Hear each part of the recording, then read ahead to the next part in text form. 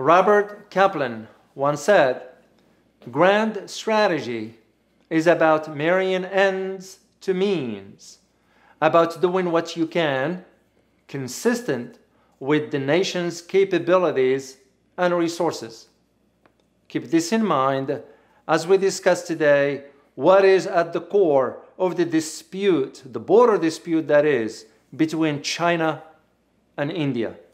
My name is Dr. David Oualaalou. And my name is Dr. Ross Stewart. And you are watching Geopolitics in Conflict.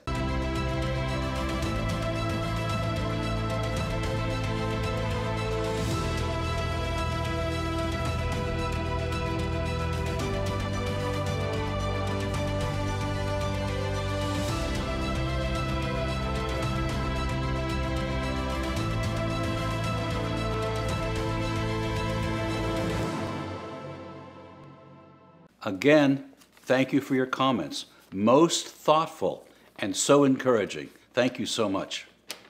And we also wanted to thank our Patreon members for their support and for you. If you like our videos and you want to support us and demonstrate your support, consider joining our Patreon membership. We thank all of you for your support. China and India the longest disputed border in the world. What is it, 2,400 miles? Of the Himalayan. Himalayas. Indeed, indeed, Ross. And what we've seen is periods of peace, now increased tensions, and even violence and death at the border. What do you make yeah, of all this? That's correct. As a matter of fact, uh, some uh, in in some uh, uh, uh writings uh, that I've or readings rather that I came across, they are assessing this to be between the two great superpowers. I was like, no, no, no, no, no. Let's hold on a second. Let's take a step back. Right. India is not a superpower. You know. By far, it's not a superpower when you compare it to Russia, uh, China, China, or the United yeah, States. It just yeah, isn't. Yeah, uh, and even China, you won't call it a superpower. The, rise, the reason because because China right now is a rising superpower. Correct. It didn't reach that status yet, and it will. That's for sure. But in the case of India, uh, India is an emerging economy. You know, uh, you, so just to uh, put that to rest, as far as when some calling India as a superpower, that's nonsense. So we, ta- we take a look at the development of the long-term plan for India's military. Mm-hmm. Spotty, underfunded, kind of a mishmash. That's true. When you compare it just to Pakistan, it's arch enemy. So, oh yeah. Well, Pakistan spent about 4.2, if I'm not mistaken, percent. Uh, India spends about 2.1 or 2.2. So, so, but uh, so the issue with China and and and uh, or the tensions between China and India over the borders, uh, those are not new. You know, if we are to go back into the history of how it's all started, back in the 40s when when uh, uh, Mao yeah. at the time, uh, sort of wanted to move China forward. It was during the same decade with, when India gained independence from the UK. So they did have a good relationship. It seemed to be a real friendship where there was Asia for Asians and Asia becoming a, a, uh, an economic powerhouse. It, exactly. Where things turned a little bit sour, if, you may, if I may use the term, was when China took over Tibet. Well, the there are those arguments that it was part of its territory over and they took over there. So, but what came to the forefront was the war between the two in I think 1962, if I'm not mistaken. Yeah. You know, when thousands of soldiers from both ends were, were killed. Yeah. yeah. So, but after that, they kind of resumed some sort of talks. So, but it was always the mistrust that has loomed large over the relationship at that time. What we have is no clear boundaries. Any number of attempts to set boundaries, they didn't hold. That's correct. And the reason for that mistrust also was because uh, Dalai Lama uh, uh, sought refuge in India. So China was thinking in terms of India was conspiring with the US and UK to plan his escape from the region. So that was always uh, this mistrust on part of the Chinese towards the Indians, you know, or India that is. So, uh, things moved forward till about 19 uh, i mean in, in around 1975 they had i think some uh, uh, tensions over there but it was a treaty signed between india and china that no live fire will be used on the border because it's there's no demarcation on it Right. it's it's a lot of land, if you will. Uh, I mean, who claims what? And that's where the challenge is, especially when uh, uh, uh, China uh, built some roads into what they call the chicken neck. Yeah. So it is of a strategic location that lo- that, that one because in case Is of that, a a- war, in case of war, is it also part of the Belt and Road Initiative? Uh, th- that can be used for that. Yes, you know, and this is one of the issues India is having a hard time with. India is not subscribing to China's BRI. Doesn't believe in it. Doesn't agree with it. Doesn't. Well, who cares whether India agrees or not? You know, it's to their detriment anyway because they could have benefit from. I mean, the trade between India and China is no small. No, it, it's, matter of fact, it's substantial and important to the Indian economy. And you will think Indian leaders, political that is, uh, uh, they're no different than any other government with the corruption that exists in India. Right. You will think they will sort of see the strategic interest for them economically in moving forward with China.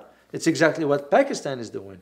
So to China, to India, that's creating some sort of resentments that now China is closer with Pakistan. Well, what we've seen, as a matter of fact, in one of our earlier shows, substantial uh, infrastructure investment from China in Pakistan.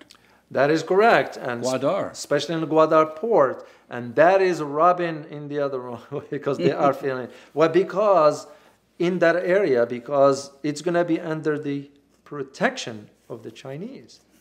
So Which means there'll probably be Chinese military there to protect the port. exactly. So when India says they're gonna, you know, challenge China militarily, whatever, that just saber rattling because, I mean, pragmatically speaking, India stands no chance, nuclear or not. Right. because they just stand no chance against China. Well, we saw 50,000 troops moved, moved there, then sort of not really moved there. Yeah, gradually going back because China is not backing down.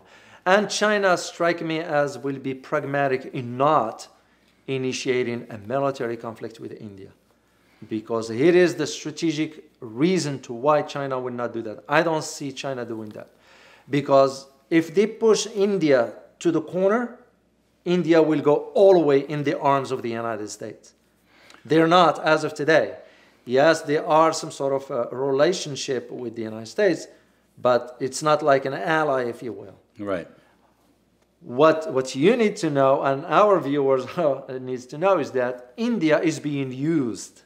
I was just going to ask, has India come under the influence of the United States to agitate and aggravate China? Yeah, is acting as the geopolitical wild card in the region to sort of uh, act as a counterbalance to China's expansion. Because the argument within India uh, uh, states that they don't want China as the only hegemon in Asia.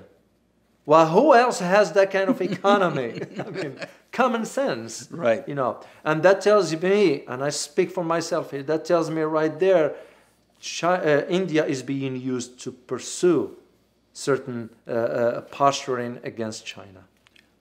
Uh, it's like being a member of the Quad. Oh, yeah. How can you, uh, if I were to advise the Indian government, wouldn't it be wise to use those resources into improving your domestic economy versus allocating funds for the quads that you have to move your military elsewhere in support of the quad? And who else in the quad? Australia and Japan. Well, we all know what's going on with Australia's Yeah. economy. And we all know what Japan is right now. you know, uh, gone the 80s when the Jap- Japanese economy was where it needs to be.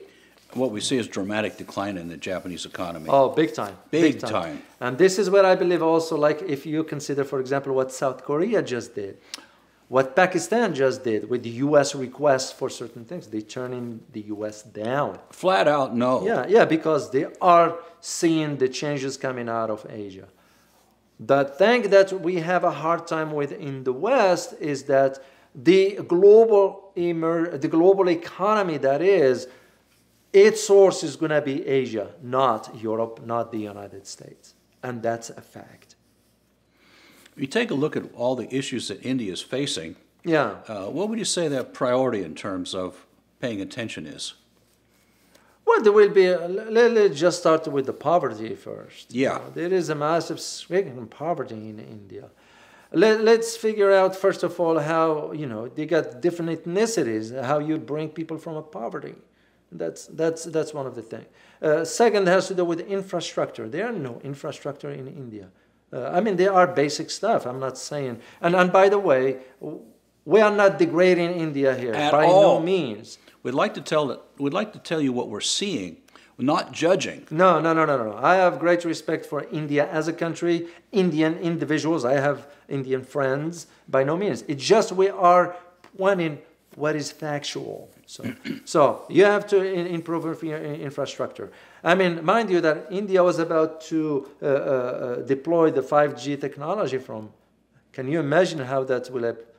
Oh, man. And yet, because of pressure from the United States, the kind of. Uh, so infrastructure uh, raised the poverty, uh, people from poverty. What And- about corruption?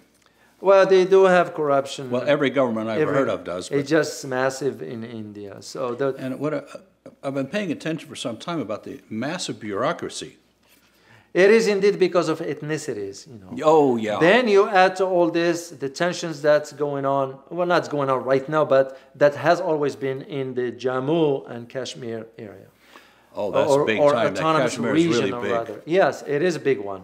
There are those who are saying that you know that's an Indian stuff, which historically speaking, that doesn't bode well with the reality based on what I know and the individuals that I've been talking to from that part of the world.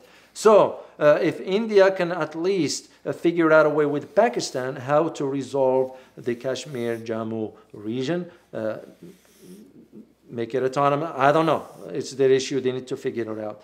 Uh, but also, the, that infrastructure, I keep going back to the infrastructure because the problem with, with the challenge, I should say, not the problem, but the challenge India has. India has some talents.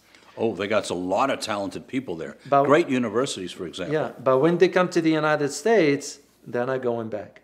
They bring in their entire families Yeah. here, and, and that's a drain of brain power in India. So if India can figure out a way of how to be, uh, you know, take advantage of its own uh, brain power within it, the country, that would be very, very useful. I do know they did one thing good a couple years ago, especially with uh, when Bill Gates used them as a, a lab test for the stuff that he was doing there. So I, I applaud India for taking stand and kicked out Bill Gates out of the country. He can't go back anymore. Why? because you start to that. see uh, paralyzed children and all that stuff. from- Oh, the inoculations yeah, and so on. Yes, yeah. So I admire India for taking a stand on that. But currently, the challenges that going on in the region with now Taliban taking over Afghanistan, the U.S. withdrawing in a defeat, which doesn't send a Right. good message. With Pakistan improving its relationship with China, with ASEAN country strengthening the relationship economically that is with China. So it behooves India to take a step back and think, what's good for me economically and strategically, rather than just following blindly what the West is saying and so forth. What do you think the likelihood of any real of war between China and India is? I don't see that happening, in Ross, because uh, it will be very devastating for both. Uh, uh, uh, China will have the upper hand. I mean, let's not make it's it's a reality, it's a fact.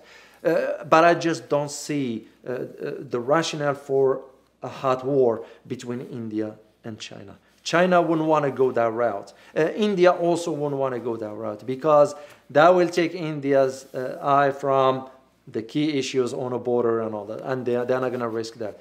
And this is why the argument I make, and this is my personal opinion, I'm a believer that uh, India will not be able to fight two fronts. Pakistan, would- would, you think Pakistan would jump on this if uh, there was a war between China and India? uh, jump away, like take advantage of it. Yeah, yeah. Uh, it's unlikely they'll do that because uh, Pakistan, all Pakistan needs to do is just take a step back and watch. Beca- Correct, Right, correct. They don't have because- to get involved. yeah, because if China gets involved in a hot war with India, you know that's not going to bode well for India, and and China, uh, Pakistan doesn't need to be involved. You see the U.S. supporting India in anything? Uh, I don't think so. Uh, you know, there is a difference between a lip service and action. What you say versus what you do. There are two different things. It's because also the United States understands if they get involved in yet another conflict, you know, and this one is different. That's why I don't, I don't see any hot war. Uh, you know, it behooves China to think strategically, and I think they are by, by, by realizing there is no need to aggravate the situation. You know, and that's a smart move. That doesn't mean they are backing down. They're not. Oh, they certainly don't seem to be. No, it's the idea of thinking strategically here, because they don't want to push India all the way to the corner. For our viewers, what would you say the real takeaway here is? Well, it's just for us, we don't need to be sucked into this conflict. If India wants to take on China, more power to them. we shouldn't be getting involved in all this because you look just with Afghanistan and you ask the question what have we gained after 20 years and over $2 trillion of waste? Your money, taxpayers' money. So, uh, uh, and a conflict between two nuclear uh, countries, it's not going to bode well. The bottom line is let's let's hope that does not occur. That that smarter, more reasoned heads take control here, and end this conflict. Exactly. They can work out the borders, issues, and so forth. But again, there are no signs on that open land. So it's, they're going to have to figure that out. And only the two of them can do it. We can't come in and dictate to them. Uh, who are we to dictate to them anyway? Well, the United States has pretty well proven itself to be a non-performer when No. it comes to dictating to other people in 2021. That's correct. Things have changed. Things have changed. Let us know your thoughts in the comments. Also, be sure to check out our other videos. Don't forget to like, share, and subscribe. Thanks for watching. And as always, stay informed. Till next time. Bye bye.